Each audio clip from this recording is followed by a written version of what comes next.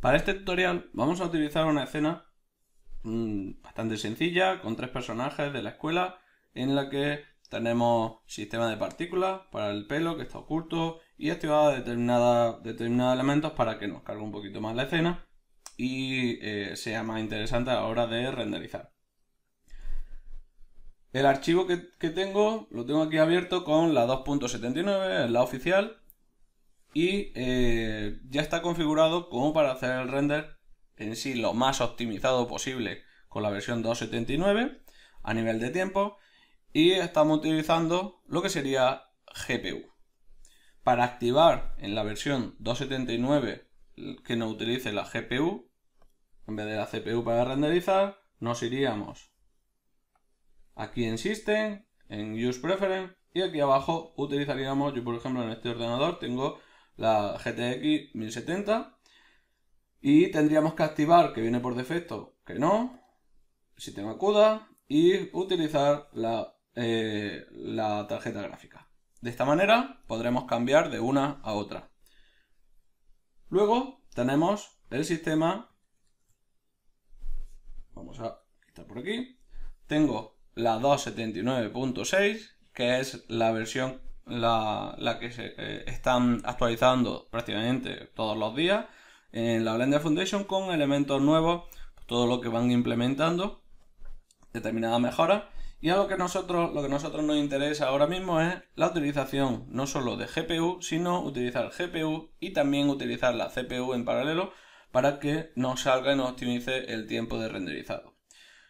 Si entramos en File, Use Preference, por defecto la primera vez que nosotros activamos eh, o mm, ejecutamos la 2.79.6, eh, no saldrá con esto desactivado, ¿vale? Porque tiene la, por defecto la GPU utilizándola, como lo teníamos en la 2.79 normal, pero nos da otra opción que es la de utilizar también el procesador para renderizar. Si la activamos, aquí no nos sale como que estamos mezclando, pero en realidad a la hora de hacer el render sí funciona, ¿vale? Entonces, simplemente con eso, cuando le diésemos a renderizar, cambiamos aquí, vamos a poner esta, al darle a renderizar,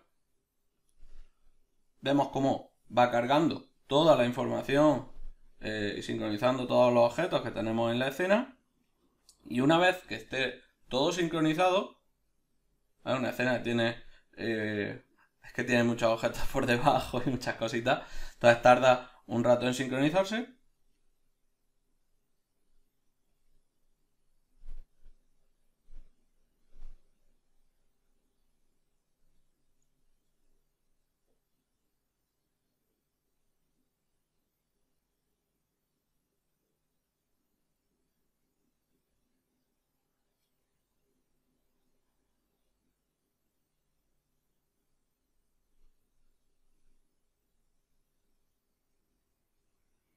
Una vez ya está todo sincronizado, veis como no nos sale solo un tile, un cuadradito de lo que para, hacer el render, sino que me está saliendo dependiendo del mm, procesador que yo tenga, todos los núcleos me lo está utilizando para renderizar y aparte la gráfica. Aquí podéis ver la diferencia entre utilizar la gráfica y utilizar lo que son los núcleos de, de CPU. La velocidad se ve bastante clara en el que este está más definido, ya se ha realizado y pasa al siguiente. Este ruido que hay está hecho a propósito para la animación, porque esto es para una animación y está creado para que tenga como una luz un poco volumétrica. No es que mm, no está mal, ¿vale? Sino que es así, está hecho a propósito. Entonces, como veis, me está utilizando todos los, los núcleos. Lo que pasa es que sale mucho más rápido la gráfica que lo que son los demás de, la GPU, de la CPU, perdón. Entonces, cosa que hay que tener en cuenta es que cuando nosotros trabajamos con GPU y CPU, no podemos poner el tamaño del tile eh, igual que si estuviésemos trabajando solo con GPU. ¿Por qué? Porque el tiempo de procesado de cada uno de los cuadraditos con la CPU es diferente al de la gráfica. Voy a pararlo y vamos a ver una comparativa de tiempo y cómo cambiarlo para optimizar el, tiempo de render con CPU, con GPU, bueno, con GPU, con GPU y CPU solo, para que salgan más rápido o más lento. En este caso, tenemos aquí la escena con la 279. Vamos a poner, porque lo he renderizado antes para no perder tiempo, vemos la escena. Aquí hay un pequeño fallo, y es el tema del pelo, que no tiene, como estaba hecho en la 279.6, que está hecho con el shader nuevo de pelo, todos personajes. no me he dado cuenta, lo he renderizado y me sale con color negro. no pasa nada, da igual. simplemente era por el tema del tiempo. Como veis, yo tengo mi escena, me ha tardado en renderizar 13 minutos 20 segundos. Con GPU y lo tengo optimizado, nos vamos abajo, y lo tengo aquí optimizado para que me utilice en lo que son el tamaño de, de tile a 256. Es el tamaño más óptimo para que el tiempo que me tarde la, escena sea menor simplemente utilizando la gráfica. Si nosotros lo ponemos más bajo, me va a tardar más y si lo pongo más alto también, Yo lo he estado probando y con 256, 256 funciona lo más rápido posible. Pero ¿qué es lo que pasa? Primero, 13,20 es un tiempo bastante alto. Hay que tener en cuenta que tenemos sistema de partículas, volumétrica y todo, entonces carga eh, tarda bastante, es normal. Pero tenemos que optimizarlo. Para eso tenemos la 279.6 que si yo cambio aquí, vamos a ver, el primero que había hecho, sí, era este, ¿vale? Que es con la GPU, pero sacando, esto que está cambiado, Este poniéndolo a 32 por 32. Siempre vamos a hacer los tiles de manera eh, de potencia de 2. Vamos a hacer 8, 16, 32, 64, 128, 256, 512, ¿vale? Igual en X y en Y. Lo que vamos a hacer, eh, lo vamos a hacer así por, optimización porque funciona mejor de esa manera. Eh, mientras que con la GPU utilizaba 512, eh, con la GPU y CPU no podemos hacerlo con ese tamaño tan grande porque si vemos aquí, esta es el, este es el render que he sacado con GPU y CPU a 256 y vemos que el tiempo son 12,43 minutos. Que ya es menos que los 13,20 que, eh, que me tardaba solamente con GPU. Ahora después pondremos una gráfica en la que veréis los tiempos que ha tardado con un tamaño con otro. Vemos que reduce, pero es una reducción mínima dentro de lo que cabe, mínima. Yo quiero optimizarlo más todavía, porque estoy utilizando mucho más recursos, por lo tanto, eh, vamos a probar otro, otro tamaño con 32. El tiempo pasamos de 12 minutos a 8 minutos. Ya hemos reducido con respecto a la GPU normal 5 minutos de render. Eso es mucho, bastante, bastante tiempo. Pero si cambio y lo hago más pequeño, de 16, he pasado a 7,22. Con 8 me vuelve a subir otra vez a 8 y algo. Pues también lo he probado. Y en esta escena en concreto, el tamaño de tile más, más optimizado, perdón,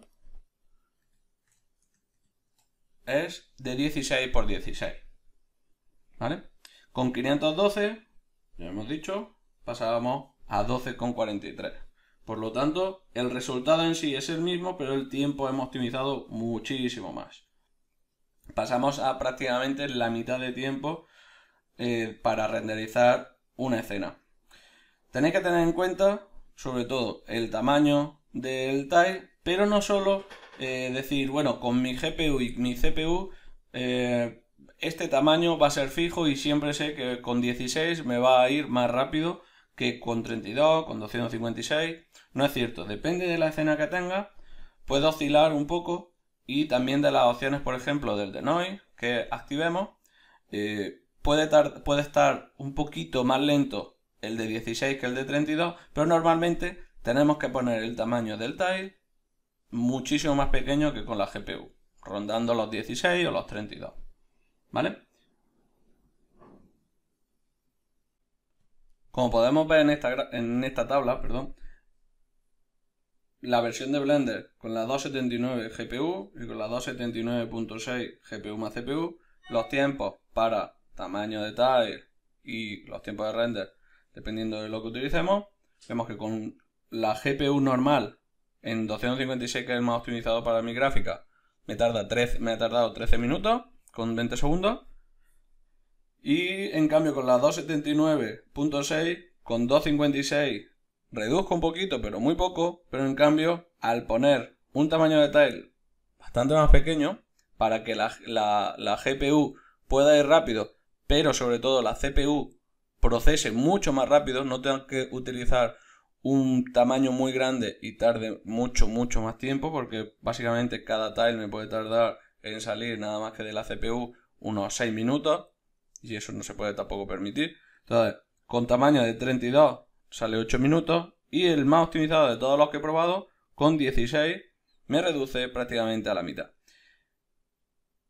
Digo que es para esta escena, ¿vale? Normalmente estos son con la GPU y la CPU son los dos tamaños que funcionan más rápido, pero ya os digo que depende de la escena. El de 32 hay escenas que me ha ido más rápido, incluso mm, medio minuto, un minuto más, más rápido, el de 32, y en cambio hay otra escena en la que el de 16 funciona mejor. Entonces, mi recomendación es que directamente lo probéis vosotros y eh, antes de hacer un render con mucho, con muchos samples, hacer pruebas con pocos samples para ver cuál es el tamaño más óptimo y dependiendo de vuestro ordenador, vuestra gráfica, vuestro, eh, vuestra CPU. Y una vez que ya sabéis que el de 32 es más rápido, el de 16 o el de 128 o el que sea, ya sí que podéis hacer el render final con más pases, pero primero hacer pruebas con poquitos samples para que eh, no os tarde la misma vida y estéis esperando eh, entre, una, entre un render y otro. ¿Ok? Pues nada, espero que os haya gustado. Nos vemos en lo siguiente. No olvidéis suscribiros al canal si no lo habéis hecho, darle a la campanita para que os lleguen las notificaciones y nos vemos en el siguiente. Un saludo.